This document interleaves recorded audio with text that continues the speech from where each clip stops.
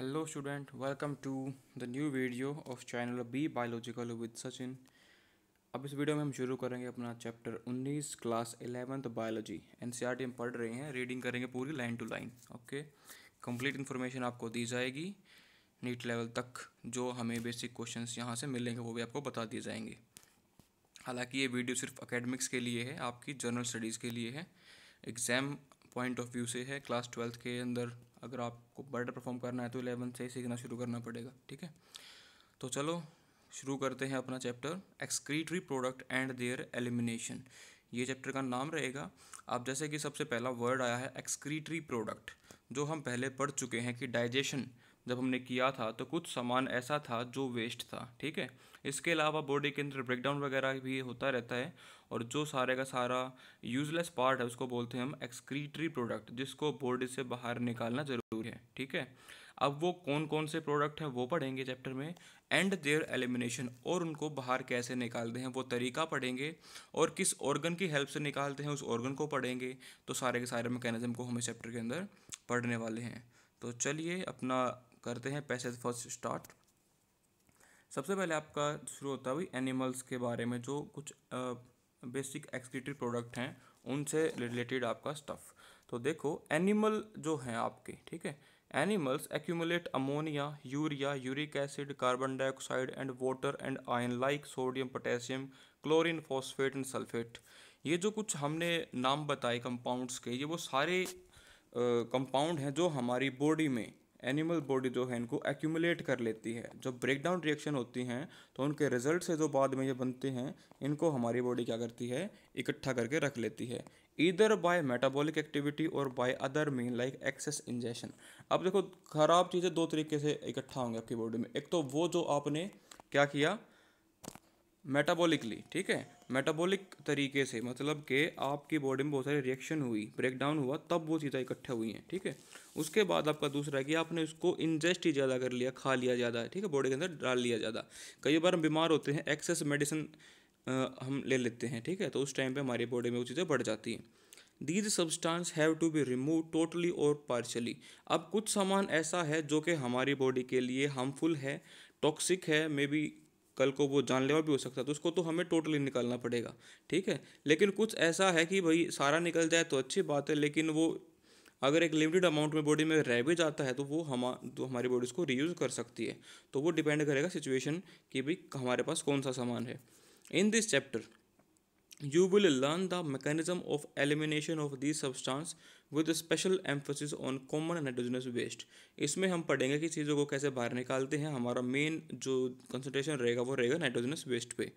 Ammonia urea and uric acid are the major form of nitrogen waste अब जो nitrogenous waste है, उसके जो तीन मेन टाइप है, वो आपकी अमोनिया है यूरिया है और यूरिक एसिड है। इन्हीं की बेस पे तीन टाइप के एनिमल्स होते हैं, वो हम नीचे पढ़ेंगे। Ammonia is the most toxic और अमोनिया जो है वो सबसे ज़्यादा जहरीला है टॉक्सिक है and require large amount of water और जो चीज़ इतनी ज़्यादा जहरीली होगी उसको उतना ज़्यादा वाटर चाहिएगा रिमूव करने के लिए फ्लश आउट करने के लिए बॉडी से ठीक है?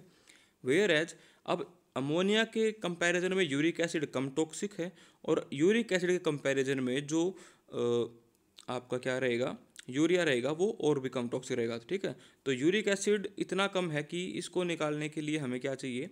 मिनिमम वाटर तो अगर मैं इनको अरेंज करता हूँ इंक्रीजिंग ऑर्डर डिक्रीजिंग ऑर्डर में तो सबसे टॉप पे आएगा आपका अमोनिया सबसे ज़्यादा टॉक्सिक उसके बाद आएगा आपका यूरिक एसिड और सबसे कम टॉक्सिक रहेगा आपका यूरिया।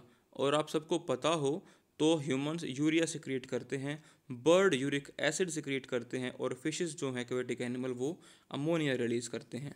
और जो ऑर्गेनिज्म अमोनिया रिलीज़ करेंगे, उनको बोलते हैं अमोनियोटैलिक, ठीक है? अमोनोटैलिक और जो यूरिक एसिड सिक्रिएट करते हैं, उनको बोलते हैं uricotelic.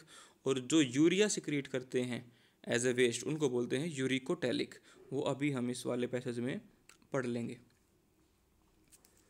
The process of excreting ammonia is called ammonotelism process को बोला गया ammonotelism many bony fishes aquatic animal amphibian aquatic insect वो क्या करते हैं?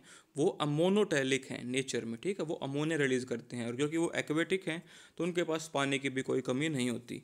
Ammonia it is readily soluble काफ़ी फिर से घुल जाती है ये। Is generally excreted by diffusion across body surface और थ्रू गिल्स और देखो पानी में रहने वालों के पास गिल्स होते हैं, ठीक है?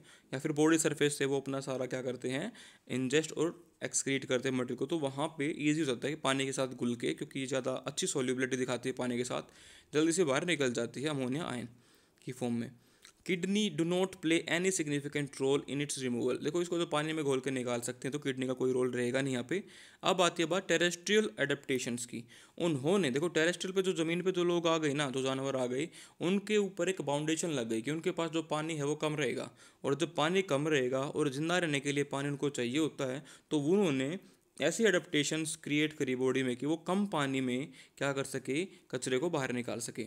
ठीक है? तो उनकी बॉडी के अंदर क्या आई? Their terrestrial adaptation necessitated the production of lesser toxic nitrogenous waste like urea and uric acid तो इवोल्यूशन ने भी हमें क्या दिया है? ये वरदान दिया है कि हमारी बॉडी से अमोनिया नहीं निकलेगी, बल्कि उसके बजाय थोड़ा सा लेस टॉक्सिक जो यूरिया या यूरिक एसिड है, वो बनेगा। Mammals many terrestrial amphibian and marine fishes mainly excrete urea ठीक है? जो अब टेरेस्ट्रियल एम्फीबियन है या जो मरीन फिशेज हैं, समंदर वाली, वो क्या करती हैं? और इंक्लूडिंग मैमल यूरिया सिक्रिएट करती हैं। एंड आर कार्ड यूरियोटैलिक उनको क्या बोलते हैं? Ureotelic ammonia produced by metabolism is converted into urea in the liver ये बहुत इंपॉर्टेंट है। ये आपका इंफॉर्मेशन आ गई नीट लेवल की कि भाई name the place where urea sorry ammonia is converted into urea ठीक है? And release into the blood which is filtered and excreted out by the kidney देखो क्या मैकेनिज्म हुआ? अमोनिया था लीवर में गया लीवर से निकला वो यूरिया बन गया यूरिया में से गया वो यूरिया गया ब्लड में ब्लड से जाएगा किडनी में, ठीक है? और किडनी से वो बाहर निकल जाएगा। Some amount of urea may be retained in the kidney matrix for some of this animal to maintain desired osmolarity अब देखो सारा अगर हम बाहर निकाल देंगे तो ओस्मोलैरिटी का बैलेंस बिगड़ जाएगा, ठीक है? तो हमारी बॉडी कुछ चीज़ों को बॉडी के अंदर एब्जॉर्ब करके रख लेती है, कुछ अमाउंट ऑफ़ यूरिया को, ठीक है? Reptile bird land snail and insect excrete nitrogenous waste as uric acid जो रेप्टाइल्स हैं बर्ड्स हैं स्नेल्स हैं इंसेक्ट वगैरह करते हैं यूरिक एसिड जो बीट की फॉर्म या पेस्ट की या पैलेट की फॉर्म में बॉडी से बाहर निकलता है, सबको पता होगा, आपकी गाड़ियों पे कबूतर गिरा देते हैं, ठीक है? उसमें क्या होता है पेस्ट सा होता है, वो सेमी सॉलिड होता है मिनिमम लॉस होता है वहाँ पे वाटर का, ठीक है? और उनको बोलते हैं यूरिको टैलिक तो ये तीन टाइप के आपके ऑर्गेनिज्म थे। अब सर्वे वाली बात पढ़ लेते हैं सर्वे में क्या था? A survey of animal kingdom present in variety of excretory structure देखो, क्योंकि हम अभी तक वो चैप्टर नहीं पढ़ गए हैं एनिमल किंगडम वाला तो हमें थोड़ा सा कन्फ्यूज़न होगा पढ़ने में। लेकिन अभी आप जो नाम आएँगे, उनको स्पेसिफिकली याद रख लेना, काफ़ी आपके लिए ईजी हो जाएगा। तो जो एनिमल के अंदर क्या था, जब एनिमल का एवोल्यूशन हुआ सिंगल सेल से लेकर मल्टी सेल तक डिफरेंट टाइप के ऑर्गेनिज्म थे तो सब के अंदर किडनी नहीं है, ठीक है?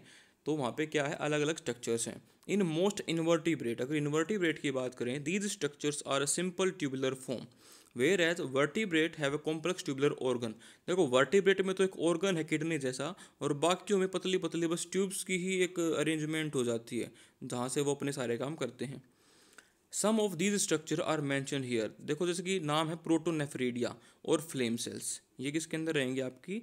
प्लेटिहलमिन्स फ्लैट वॉम वगैरह के अंदर होती हैं, ठीक है? अब जो rotifers, some annelid and the cephalochordate like amphioxus ठीक है?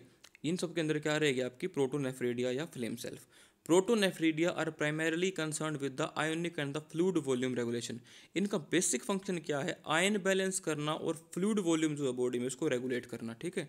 और ऑस्मोटिक रेगुलेशन को क्या बोलते हैं? ऑस्मो रेगुलेशन नेफ्रीडिया वो प्रोटोनेफ्रीडिया था। अब थोड़ा सा एडवांस आएगा एवोल्यूशन के कोर्स में nephridia these are the tubular excretory structure of earthworm ये अर्थवोम की हैं स्पेसिफिक एंड जो थोड़े से डेवलप एनालिट्स हैं उनकी। Nephridia help to remove nitrogenous waste and maintain a fluid and ionic balance देखो किडनी हो नेफ्रीडिया हो प्रोटोनेफ्रीडिया हो, सबका काम क्या रहता है? मेंटेन करना बैलेंस को। कौन सा बैलेंस आयन का और फ्लूड का। मतलब कि ऑस्मोटिक बैलेंस को। अब जो नया आता है एडवांस इनसे, वो है माल्फिगियन ट्यूब्यूल्स वो रहेंगे आपके इंसेक्ट के अंदर लाइक कॉकरोचेस ठीक है?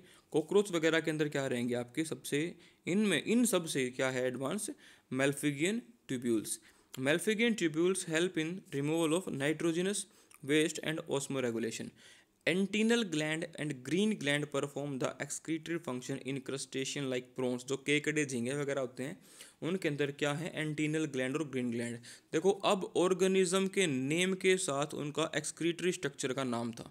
और ये काफ़ी इन्फॉर्मेशन ऐसी है जिसको बंदे भूल सकते हैं। और ऐसी ही चीज़ों को, जो कि काफ़ी पजलिंग होती है, इस्तेमाल किया जाता है नीट जैसे टेस्ट के अंदर। ठीक है? तो इसको भी आप ढंग से एक बार कवर कर लेना। अब आएगा ह्यूमन एक्सक्रीटरी सिस्टम इसको हम करेंगे नेक्स्ट वीडियो में, क्योंकि उससे फिर अपना एक फ्लो बन जाएगा, ठीक है? तो ह्यूमन एक्सीटरी सिस्टम है, इसका बेसिक सा हम आपको बता देते हैं इंट्रोडक्शन दे देते हैं कि भाई इसके अंदर क्या रहेंगी आपकी। पेयर ऑफ़ किडनी रहेगा, ठीक है? राइट और लेफ़्ट जो आपकी किडनी रहेंगी, इनमें से निकलेंगी आपकी क्या?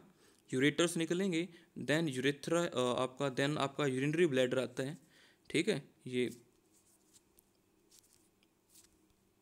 यूरिनरी ब्लैडर हो जाएगा, ये आपके यूरेटर्स हैं and these are your pair of kidney and the last one is urethra और यहाँ पर ब्लड सप्लाई के लिए क्या होती है आपकी? रीनल आर्टरी होती है और इन्फीरियर वेना कावा ठीक है? ये दो आपकी ब्लड वेसल्स रहती हैं। अब ये कोर्टेक्स मेडुला क्या है? जब हम किडनी की बात करते हैं, ठीक है? तो एक आपको दिख रहा होगा, ये अंदर वाला पार्ट है, ठीक है? इस अंदर वाले पार्ट को तो क्या बोलते हैं हम? मेड्यूला और जो बाहर वाला हिस्सा है, ये इसको बोलते हैं कोर्टेक्स आई थिंक आपको क्लियर हुआ होगा। बाकी हम पढ़ेंगे अगली वीडियो में पूरा डिटेल से इसको। जब तक के लिए जय हिंद, जय भारत। लाइक करें, शेयर करें, सब्सक्राइब करें। Thank you.